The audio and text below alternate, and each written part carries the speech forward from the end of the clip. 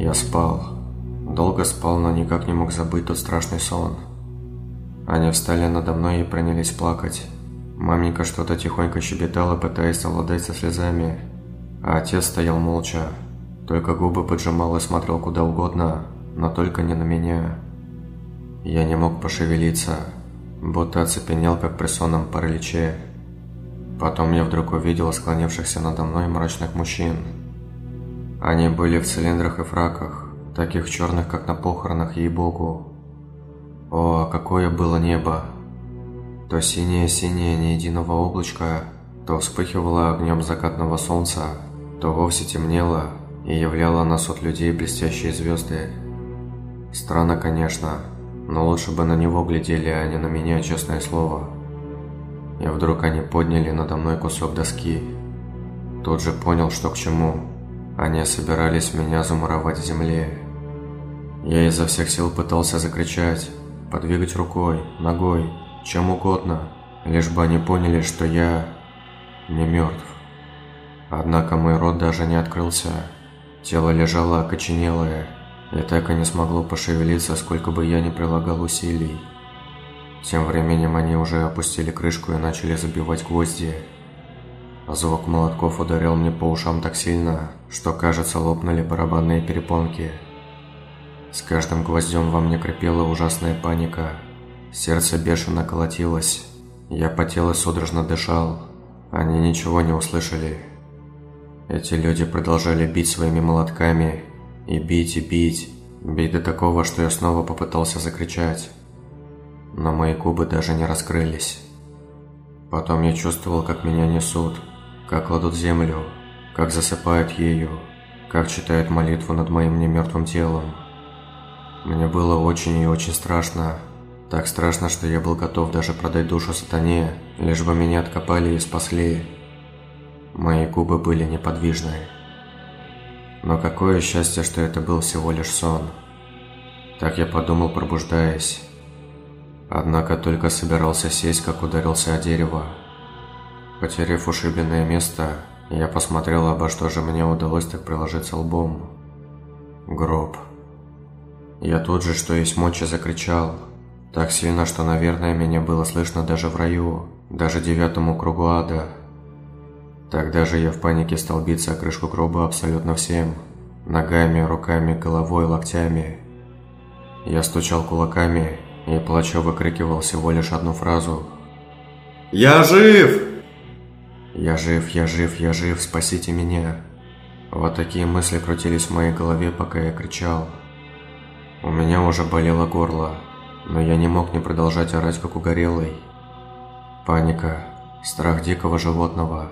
Даже нет, их бурная и необыкновенная смесь поддерживала во мне этот порыв, это необыкновенное желание жить. Тело было уже в синяках и кровопотеках. Горло болело так, что я мог только невнятно хрипеть, но продолжал долбиться в крышку гроба и громко схлипывать от горьких слез. Без того страшную панику нагнетало и то, что мне было тяжело дышать. Воздуха в гробу не хватало, а скоро он закончится совсем. Тогда я и... Тут меня чуть не вырвало. Я со слезами на глазах принялся с новой силой орать, орать и орать, чтобы хоть кто-нибудь на этой чертовой земле меня услышал и спас.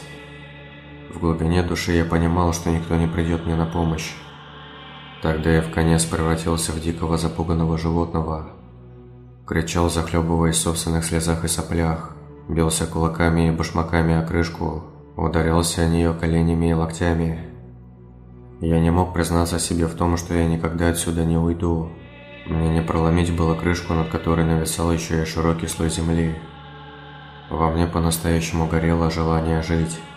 Каждый день просыпаться в собственной постели, проводить выходные с семьей, работать и встречаться с коллегами – ездить в походы, чтобы посмотреть на закат, ходить босыми ногами по утренней траве, бегать по пшеничному полю и во все лицо улыбаться. Я очень хотел свою жизнь назад. Увы, как бы я ни хотел и не просил, я не мог вернуться в наземный мир. Никогда. Мои силы потихоньку иссякали. Я больше не кричал, потому что воздуха было слишком мало. Лишь изредка ударился ладонью в гроб, и пытался вытащить пальцами хоть один забитый гвоздь. Ясное дело, мои попытки были бесполезны. Жизнь ускользала от меня, как прекрасное видение от художника. Она скользила сквозь пальцы песком, медленно, но верно оставляя меня одного. Я очень не хотел ее отпускать. Я начинал отключаться. Как бы ни противился, как бы ни хватался за гладкий гроб, я более был не в силах оттягивать смерть. Уже видел ее в черном плаще, с косой она размеренно шла, зная, что я все равно никуда от нее не денусь. И все же я предпринял последнюю мою попытку.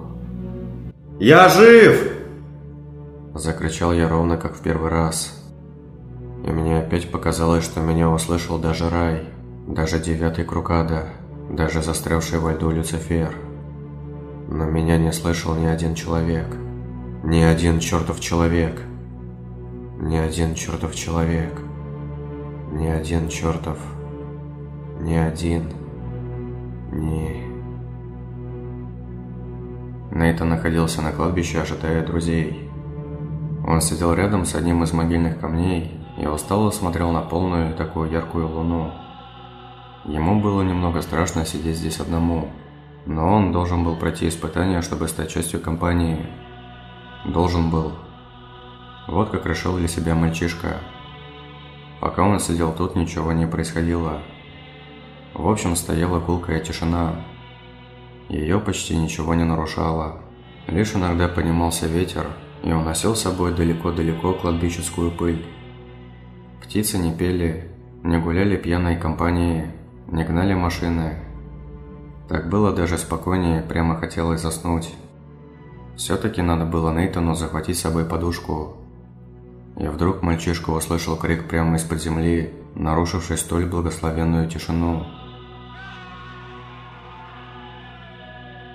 Протяжный, словно волчий, полный боли и надежды зов. Это не мог быть ветер. Его вой всегда был быстрым, бесчувственным.